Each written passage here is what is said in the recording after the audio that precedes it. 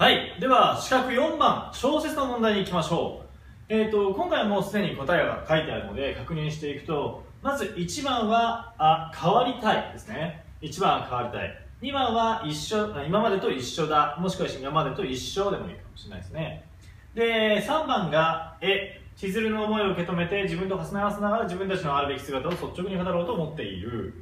で、4番が、これ。えっと、30字以上40字以内だったので、まあ、37ぐらいあるとちょうどいいかなという感じです、えー、今までのことを頑張った先にも新しい自分がいると気づきほっとした気持ちって書いてくれると大体 OK でしょうね。あの字面はちょっと変わっても内容が入っていれば要はこれね今までのことを頑張った先にも新しい自分がいるっていう発見があったことと気持ちが乗っているとあの2つの観点からちゃんと書けているということなので OK になります。で5番は一人人っていう5文字を抜き出してくれれば OK です。では一個一個確認していきましょう。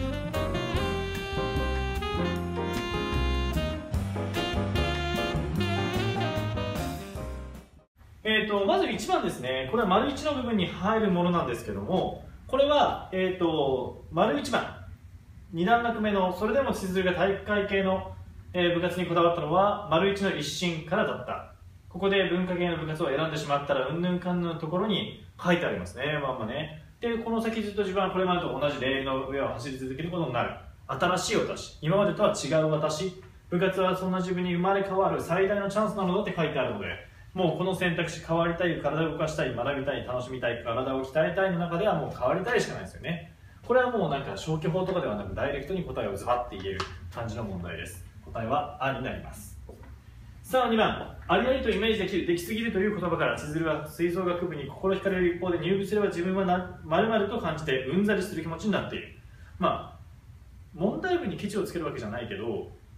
あのうんざりするほどのテンションかって言われるとちょっと読み取れないよね。このちょっと問題のほどうんざりする気持ちっていうのは私たちとすごい気になったんだけどもまあうんざりしてるんでしょうね。でじゃあうんざりしているということを仮定あの前提として考えるとここに入る言葉は何なんだろう。でその周辺のところを読んでみると、はい、棒線丸2の周辺を読んでみましょう。まずその頭の段落放課後の音楽室にいる自分を千鶴はたやすく想像できた。すぐに上達するほど器用じゃなくても真面目に練習を積んでうんぬんかんぬんとあって棒線丸2があります。でもその後に鍵括弧あのね私中学生のったら変わりたいって思ってたんだ。千鶴は初めて商人に打ち明けた。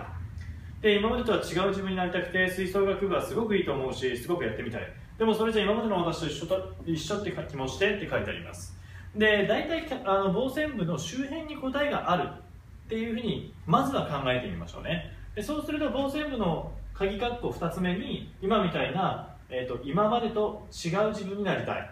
今までの私と一緒な気もしてっていうふうにキーフレーズが書いてあるのであとはここを、えーと、自分は〇〇だと感じてうんざりする気持ちに合わせて選んでくれたら OK です。なので今回は今までと一緒もしくは今までと一緒だっていうことを書いてくれればまああの1番ともリンクしますよね。1番は、えー、変わりたいという一心から部活にこだわった体育会の部活にこだわっていた。で2番は今までと一緒だという思いから、えー、吹奏楽部に入ることに躊躇しているっていうところはあの矛盾ないですよね。設問の答え同士が矛盾しているとどっちかが間違っているということなのでその部分しっかり確認していきましょう。さあ3番です。3番はちょっとダイレクトには行きにくいのでここは消去法を使いたいんですが今回使う戦略は、えーと、NP 分類というものを使います。これは聞いたことある人もいるかもしれないけれどこれは私がね北九州予備校に通っていた時に漢文の先生に教えてもらった戦略であのネガティブとポジティブの選択肢に分けましょうという話です。で例えばこれを具体的に3番で試してみると今回わかるよ千鶴の気持ちではあるがこの時の司法人の気持ちを説明したものを選べっていう話なんです。でそうすると「あ」は、えー、千鶴が思い悩んでいるのを見かねて「い」は今後の成り行きには不安もあるのでそれから「う」は未知の自分を追い求めていることに共感し「えー、え」は千鶴の思いを受け止め自分と重ね合わせながら「お」は千鶴の自分勝手な態度に呆れてっていうふうにまず出だしの部分で司法人の千鶴に対する気持ちのテンションが分かります。でそうすると「あ」と「い」と「お」がネガティブ「え」と「おが」「う」と「お」が、えポジティブだということが分かりますよね。でこの文章を読んでいけばすぐ分かると思いますが司法人が千鶴に対してネガティブな感情を抱いてセリフを言ってるかどうかっていうのは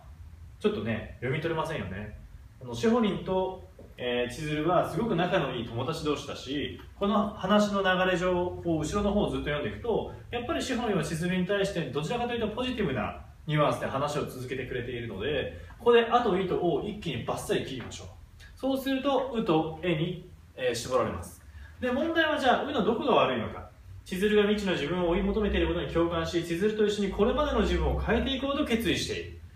でこのこれまでの自分を変えていこうと決意しているかどうかっていうシホリンの思いはこの後ろの鍵括を見れば分かります。それは何かというとそれでも私千鶴は千鶴らしいことをした方がいいと思うっていう提案ですよね。もし変わるべきだと思っているのだったら吹奏楽部ではなくあえて体育会系を選ぶべきだと主張するはずですよね。今までと一緒だと思ってしまうその吹奏楽部に行くことにはすごく興味があって魅力を感じているけれどでもこのままだと自分は変われないんだから変わるためには全く違う体育会という方に、ね、行きたいという千鶴の思いに対してあのシホリンはいやいや。ってあの吹奏楽のねその自分の興味のあるものを追求してた先にも新しい自分いるんだからっていう話をしているってことは別に無理やりやることを変えなくてもいいんじゃないのって話をしてるわけですよね。そうするとこれは別に自分自身も変わっていこうとしているわけではないのでうわちょっと話ずれてんぞってなってバッサリ切りましょう。そして最後残ったのは絵ということになるので今回は絵にできれば正解ですね。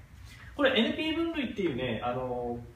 戦略自体を知ってるとものすごくあの消去法に関してもねテクニックが増えていくのでこれ今のうちに身につけておきましょう。これは高校の国語のセンター試験でも使うことになりますのでぜひ身につけておいてください。さあ4番に行きましょう。この4番がですね結構難しかったんですよ。というのは40文字っていうのがシビアでこの40に収めることができなかったっていう人もいたのかもしれません。で今回はねもうかなり凝縮されていてあの37文字にはぴったしになりましたけどもあとはそのちゃんとね問題文にある通りに千鶴はどんなことに気づきどんな気持ちになったのかっていう2点に関してを明確に書いてあるかどうかがポイントの分かれ目です。で今回はさっき言った通りここに気づきっていうのが入って最後ほっとした気持ちもしくは安心した気持ちとか書いてくれると多分いいんでしょうね。4番はこんな感じの答えを書いてくれれば OK です。さあ5番。この文章の中で千鶴やシホリンは互いに気持ちを通わせることを通して成長していく。その様子が音楽に例えて象徴的に表現されている一文はどれかという話なんですけどもこれは1ページ目の、えーと、上の段落上の段落というか上の塊の一番左側ですよね。一人一人の奏でる楽器が重なることでその音色を深め引き立て美しいハーモニーを育てていく。えー、まさにこの千鶴と、えー、シモニ2人の関係性を音楽のメロディーの奏で奏でられ方に合わせてこう書いてあるようなイメージなのでここをしっかり読み取れれば OK です。でこれはねちょっとあの5番に関しては本当はもっと総括的な問題になってくるはずなんですけども今回はちょっとねあの比較的簡単な問題になっているのでこっちは取りたいですよね。4番を仮に落としたとしても5番は取っていきましょう。はい。ということで、4番の答え、こんな感じになりましたので、しっかり復習して、あの特に NP 分類の方は身につけておきましょう。